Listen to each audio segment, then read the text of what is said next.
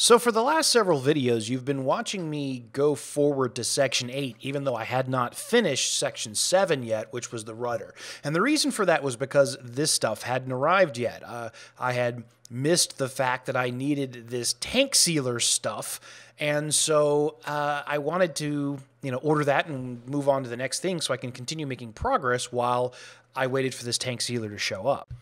Well, it showed up. So here I am reading all the instructions again thoroughly because you have to do all steps two through eight before the tank sealer stuff cures. It gives you about two hours.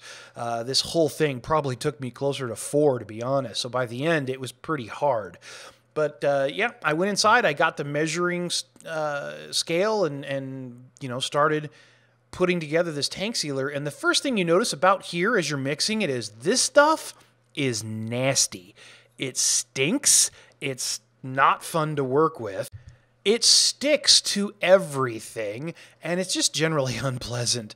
Um, but, you know, little did I know, now I know, now you do too, uh, it's messy. It is not a clean substance. It, it got everywhere towards the end. In fact, it was covered my hands for days. But once I got it all mixed up according to the proportion, which is 10 to 1, I applied it to one side and then stuck the piece on with a couple Clecos and then applied it to the other side before getting the second skin set up. And then it's just a matter of going through and Clecoing down the pieces and getting out the pop rivet gun or blind rivet gun, whatever you want to call it, and riveting those inside pieces. A little bit difficult to see inside there because you kind of got to reach in there a little ways to, to get it, but once I uh, figured out what I was supposed to do, it was just a matter of going through each one and, and setting the rivet. Not terribly difficult.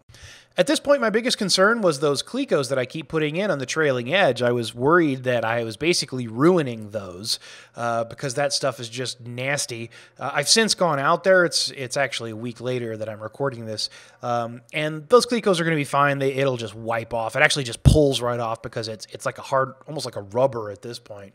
But yeah, it's just a matter of going back and doing all of it. And then I had to uh, set it aside. There's a point at which you're just kind of done, you can't proceed. And you'll see me do that here in a minute.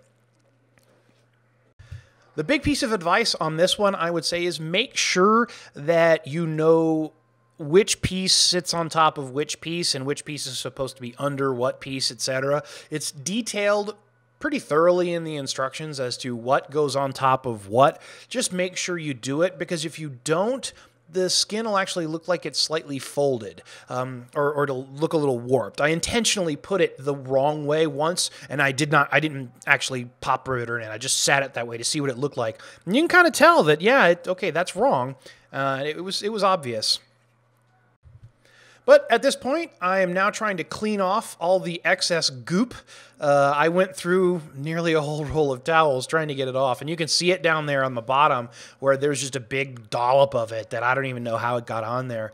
And I did the best I can, and just nothing helps get this stuff off. I tried using water. Imagine MEK or alcohol, something might work a little bit, but I didn't want to screw up what was inside, so I didn't use that because I didn't want to leak down there and, and cause problems. So I just wiped it off as best I could with the paper towels. And there was a point at which I was like, okay, I'm done. There's nothing more I can do here. So I'm just going to, you know, tape up and, and rivet these last little bits at the very bottom. And then once that's done, I'm going to set it up to cure.